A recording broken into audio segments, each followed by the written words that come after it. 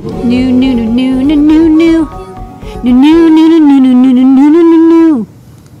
Okay, uh, let's do this. First off, we've got this cable. This cable is a perfect demonstration of what it is. You've got USB on one end and Lightning on the other. It allows you to plug in uh, keyboards and mice and MIDI devices. So, for example, You want to do something like this? You know what you're going to need? yeah, Something like this. And we've shown this in some videos where we plug a, a trellis or any microcontroller that has a MIDI output, USB MIDI. You can plug it into an iPad and it will show up as a MIDI device. And like, there's no drivers or weird software. And then you can use it with tons of apps, some of which are free, some which are not, um, to uh, connect your MIDI USB device. Um, you can also use it for HID input, like keyboard and mouse input. Note it won't let you do disk drive access. So like, it's not like you can plug in a USB key and it'll show up as a drive. And you can't use it for USB uh, CDC. It's basically like a camera connector. So it's only good for keyboard, mouse, and MIDI and like some cameras. But it's not like it'll magically make it so you can use UART devices with iOS. Okay, accept.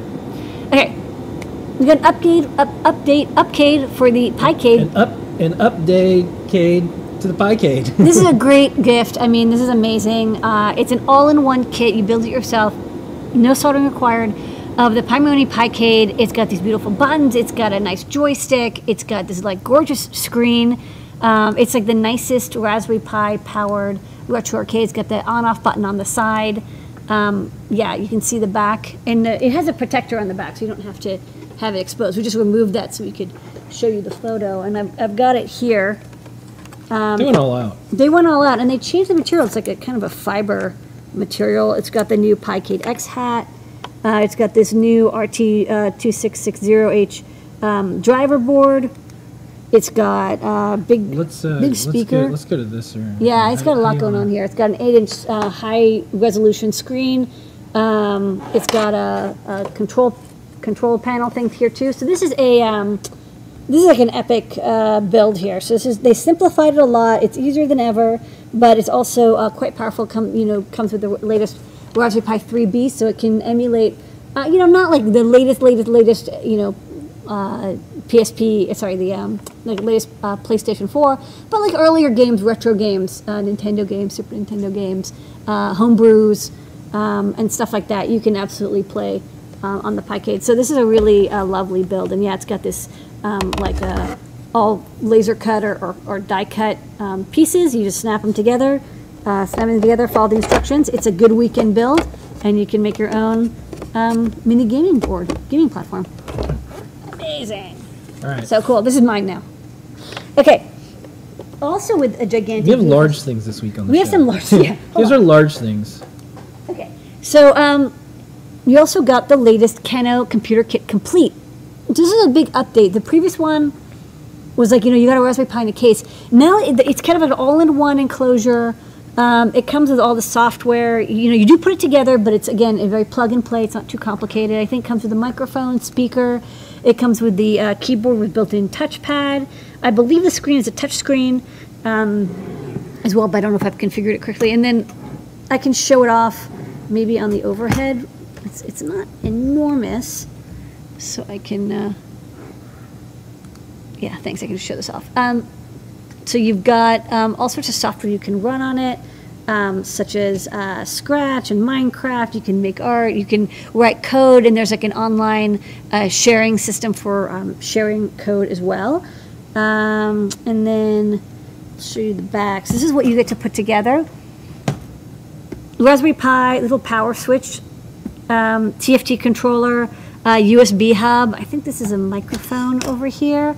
Um, a battery pack, so it's you can see it's it's it's plugged in right now, but actually can run off of battery power as well. It's got a built-in battery pack, um, and then all the cabling required. And I think that's a, a Bluetooth uh, or Wi-Fi connector. Looks like it's a maybe an earlier Pi 3, and then um, yeah, so it comes also with a keyboard, with a nice uh, touchpad. So it's like if you want to, you know, this is it's a wireless keyboard. So maybe this is the wireless adapter. So it's um this is a a, a great little um, DIY computer. It's all in one. It even comes with a screen now. It's a really like gorgeous screen. It's like a 10 inch, like you know at least 720p, maybe 1080p.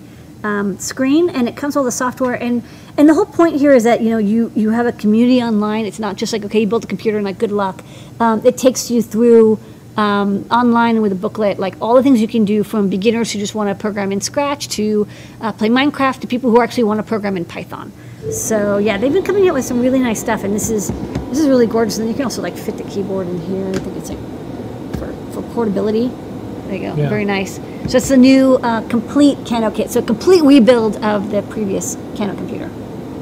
All right, and the star of the show tonight, besides our community Unily data, is this. This is one of the most exciting products I think we've released in a very, very long time um, for people who use a Raspberry Pi. Yes. So we uh, had this coming soon, and we took some sign up.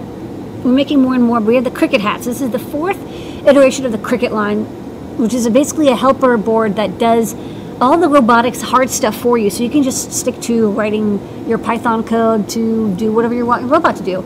Um, so this CRICKIT, unlike the previous ones, which were like Microbit or Circuit Playground Express or feather shaped, this one is um, Raspberry Pi hat shaped. So let's go to the overhead. I can show this demo. And if anyone who uses a Raspberry Pi and tried to do robotics, it's always a challenge, and that's just the way it is because the Raspberry Pi is still somewhat new, and getting things to move and all the hardware and all the drivers, it's um, it's not easy. It's it's Linuxy, and so we think we fixed it. We think we have everything you need now to do robotics with a Raspberry Pi, and also works with CircuitPython. So Yes. if you use CircuitPython anywhere, this will be very familiar. or Python 3, same thing. The drivers are the same across the board. So the CRICKIT hat is just like a hat. It plugs in um, right on top, and it gives you all of the things that um, uh, that a Raspberry Pi doesn't do well. So um, you know, I'll turn it off in a second, but you can see it's it's rotating a DC motor. So this is a standard uh, brushless motor. It's got servo control. Um, I'm going to turn it off just to so it's not making noise. Um, it's got um, turn upside down so it's readable. So it's got um, four servo connections, so you can connect four uh, hobby servos. You know the the ones that take a, a pulse input, and it does all the timing for you on chip. So you get four servos, eight analog inputs or like digital outputs. So if you need uh, analog inputs or, or PWMs or whatever, you can get them from this port. You get a three volt power, ground, and a signal. There's a speaker connection. On other CRICKITs, this is just connected to like the analog output of the Circuit Playground Express or something. On this, there's an I2S amplifier, so it actually takes the digital data and will give you like high quality audio output. Um, you can use small speakers or like enormous speakers, anything 4 to 8 ohms, pretty much any speaker you can think of. Plug it in, it'll give you uh, 3 watts of audio. There's a NeoPixel driver. Again, Raspberry Pis aren't good at driving NeoPixels. Um, you can kind of do it, but this the chip does it all for you. So you just send it, you know, up to a thousand pixels worth of data, and it will do the timing for you automatically. You don't have to worry about using a special pin or anything. Um, it's all over the Python commands. We've got um, the motor ports. This is what I've got this uh, standard DC motor connected to. So any 5 volt motor can connect up. You get two bidirectional motors, or you can use one bipolar stepper. And So where are the headers? Someone wanted to know. Oh, these, what are they? Yeah. Um, these are the signal I/O, so you can get eight pins, and each pin comes with a matching power and ground. So that's why there's like three in a row. Um, these come from the microcontroller, and again, you control them over Python. But you can, like analog inputs, you don't have on a Raspberry Pi. But if you have analog sensors that you want to connect to, you can plug them into here. So you can read like a potentiometer or like a, some distant sensors have analog input or output. You would use these. Um, you just plug in headers into the um, like wires with the headers. Oh, the Pi headers, they look like they can take stackers through them. You, you could stack through them. Right now, it has like a, a basic non-stacking header, but yeah, you can stack on top if you'd like. They, Okay. they, they can go straight through. Um, and this is um, a four-pin uh, drive output, so you get five volts and then four.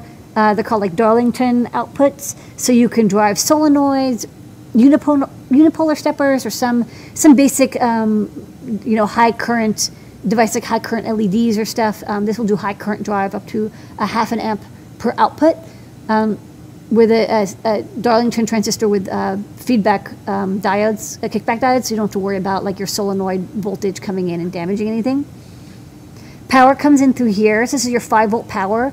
Um, you can also use this to power the Pi, although honestly, I recommend having a separate power supply just because um, it's best to have like separated two power supplies, one for your logic and one for your motors, because you know the motors can draw quite a lot of current and then they can be a little noisy. But power comes in here and you can turn it on or off. Um, there's a little LED that tells you that the power is uh, good or bad. If you, um, if you, for example, uh, powered this separately, and then you unplugged the this power, um, you know, it turns off to let you know, like, hey, like, you know, that that wasn't a good idea. Like, you don't have power on the um, CRICKIT hat anymore. And you can see it turns turns red. Um, there's a reset button. There's USB. So this is interesting. This is for updating the firmware on this chip, but also it's a USB to serial converter. So you can use it to um, log into your Raspberry Pi. Like it, it on the other CRICKITs, it doesn't do that because there's no real reason to. But since we had two extra pins, we just added a USB to serial converter software to it. So you just plug this in, and you can use it to like you know log in directly with um, any uh, serial terminal software. And then down here we have uh, four capacitive touchpads. So again, these are all handled by the Seesaw chip. So if you want to like touch something or have your robot, um, you know, have like a soil sensor or you want to have some sort of capacitive measurement, you get four alligator clip pads as well. Okay. And then we have slots here for like the camera and the display. So you can still use it with the camera and display just fine.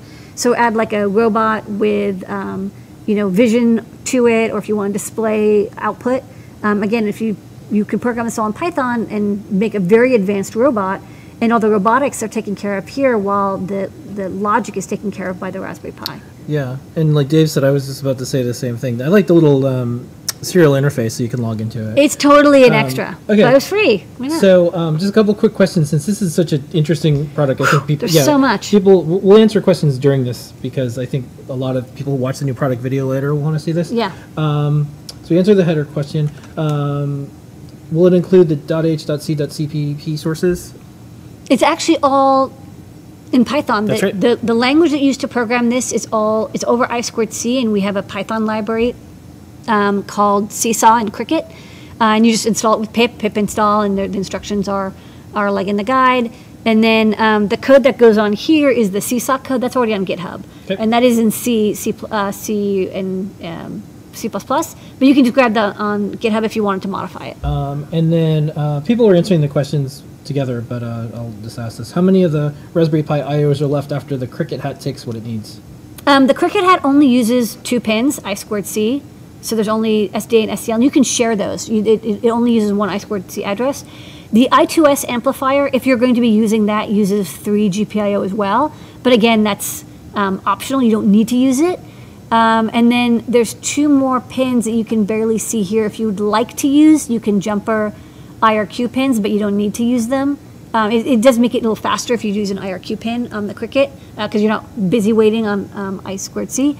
But other than that, all the other pins are available. So I think you get like maybe like 20 more GPIO.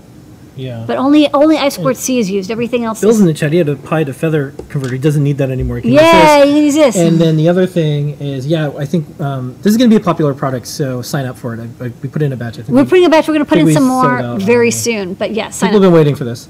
Okay, um, and with that, that's the uh, that's the new products lady. Thank you, everybody, so much. For a recap. Gobble, gobble, gobble. Yes.